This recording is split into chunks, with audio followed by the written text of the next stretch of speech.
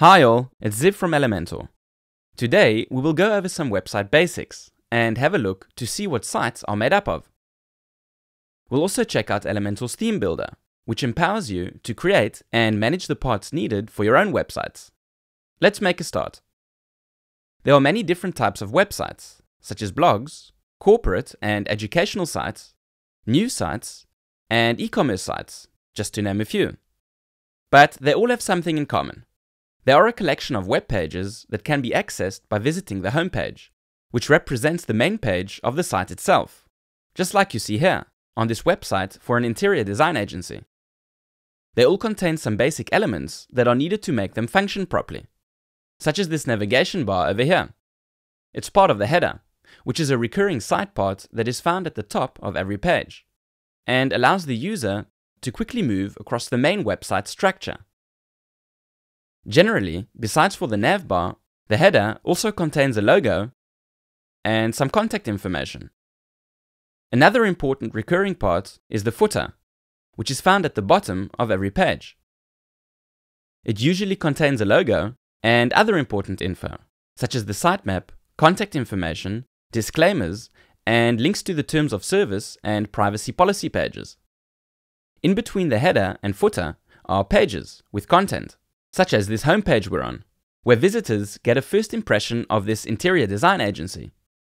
These pages are usually a mix of text and other media, such as images, videos, and audio, and can be designed to match the website's needs. This specific site also has a blog page, where visitors can read articles on interior design and related topics, just like the one you see here. This page includes a list of articles or posts, and clicking on one takes you to it. If relevant, having a blog on your site is a great way to drive traffic to your website and increase your SEO. Technically, the blog page is an archive that can list these posts according to the website's needs. They can be organized by categories and publish dates, for example. Also, if you think of it, these posts could be products on an e-commerce site, just like the one you see here. And there are many different types of websites you can build this way. Another important part of a site is the search results page, which is the page that shows the results when searching for something specific on a website. It can show pages, posts, and content, like images and videos, for example.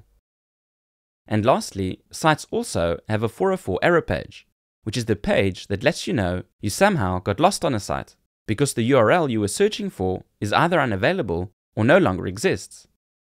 Now, all of these site parts together form a complete website, whether it's a corporate or e-commerce site, or for an interior design agency, like I've shown you here. They all consist of site parts and basic elements that are needed to make them function properly. Elementor's theme builder makes achieving this a lot easier. It provides you with a clear and informative overview of all of your site parts, such as headers, footers, posts, or archives, and therefore makes the task of designing and managing a complete website a lot easier. We have a dedicated theme builder tutorial that delves into all of the fun stuff, so make sure to check it out and start building your own stunning sites in a simple and intuitive way. I've linked it in the description below.